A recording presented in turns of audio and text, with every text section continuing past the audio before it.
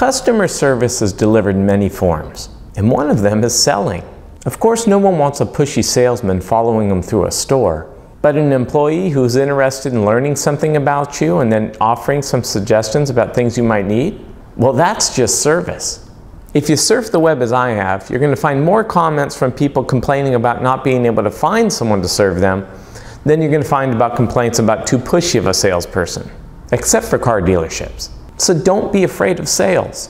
Every organization that I consult that's shy about sales is being clobbered by a competitor that isn't. Here's a key. Don't push your product or service on someone. Push your company or yourself on the people. And don't act like you don't care whether the customer buys or not. Everyone knows you're in the business to make a sale, so don't lie. Let caring customer service show your customers that you want to help them get what they need. People buy from people they like and trust, so be likable and trustworthy. IBM did not become the giant it once was because it had the best computers.